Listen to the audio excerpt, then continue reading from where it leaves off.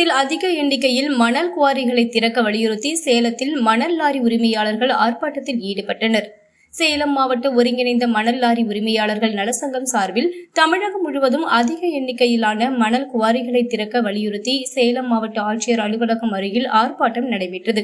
சங்கத்தின் மாவட்ட செயலாளர் கண்ணையன் தலைமையில் நூற்றுக்கும் மேற்பட்டோர் கலந்து கொண்டு மணல் லாரி உரிமையாளர்கள் மற்றும் கட்டுமான தொழிலாளர்களின் வாழ்வாதாரத்தை பாதுகாத்திட தமிழ்நாடு அரசு அதிக எண்ணிக்கையில் மணல் குவாரிகளை திறக்க வேண்டும் என வலியுறுத்தி கோஷங்களை எழுப்பினர்.